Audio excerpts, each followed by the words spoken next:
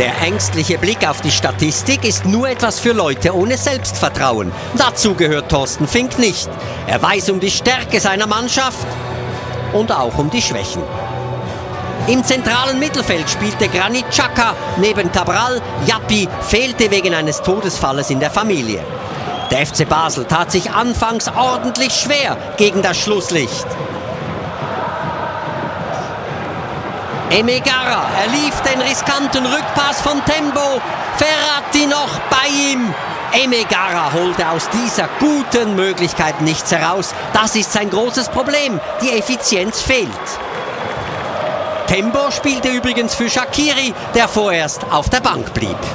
Ciri Sforza nahm von allem Anfang an viel Einfluss, coachte sehr aktiv und seine Spieler brachten den FCB erneut in Schwierigkeiten. Emegara gegen Ferrati und Geze führte nach 13 Minuten 1 zu 0.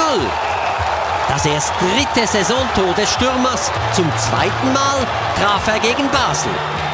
Beck Ferrati sah hier gar nicht gut aus und Costanzo rannte seinen Verteidiger noch über den Haufen.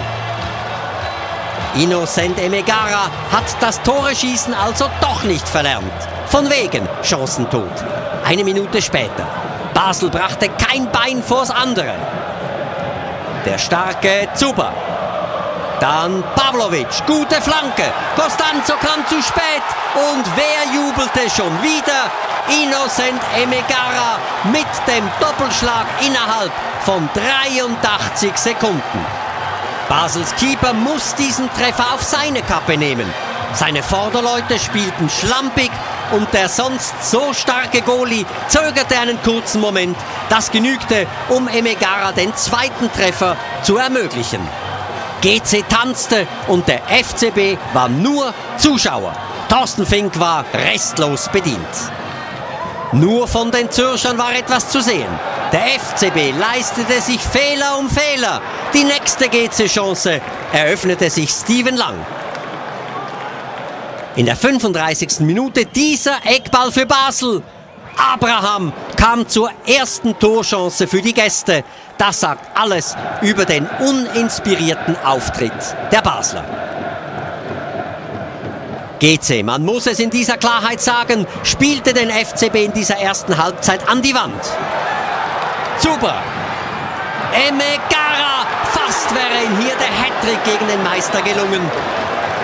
Diese ersten 45 Minuten waren etwas vom Besten, was GC in dieser Saison gezeigt hat. Thorsten Fink traute seinen Augen nicht. So schwach war Basel bisher.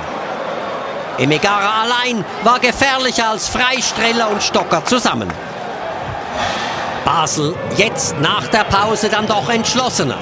Marco Streller. Dann Tembo. Die Flanke auf frei. Tor für Basel. Denkste, Alex Frei stocksauer. Passierte hierfür die gelbe Karte. Und nun die große Frage, Offside oder nicht. Tendenziell eher Offside, aber vielleicht war es auch gleiche Höhe. Auf jeden Fall lagen nun die Nerven der Basler blank. Nach einer knappen Stunde kam Shakiri als Verteidigerersatz für den humpelnden Safari. GC stand nun nur noch hinten drin, konnte das junge Team den Vorsprung halten. Basel drückte, Tempo, Streller, aber Sven König wehrte ab. GC kam nur ganz selten nach vorne. Hajrovic eben eingewechselt. Aber Costanzo war noch mit den Fingerspitzen dran. Ein drittes Tor hätte das Spiel entschieden. Jetzt ein Freistoß für Basel. Streller stieg hoch. 80. Minute. Nur noch 1 zu 2. Ging da noch was? Oder ist der FC Basel zu spät aufgewacht? GC besaß jetzt Konterchancen. Emegara schoss er doch noch sein drittes Tor. Abgewehrt. Nachschuss Abraschi. Wieder nichts. Und dann schwächte sich der FCB selber. Für diesen Rempler kassierte Tempo zum zweiten Mal gelb und musste vorzeitig vom Platz. Ja, und dann war das Spiel aus. Für den FCB endete es mit einer riesen Enttäuschung.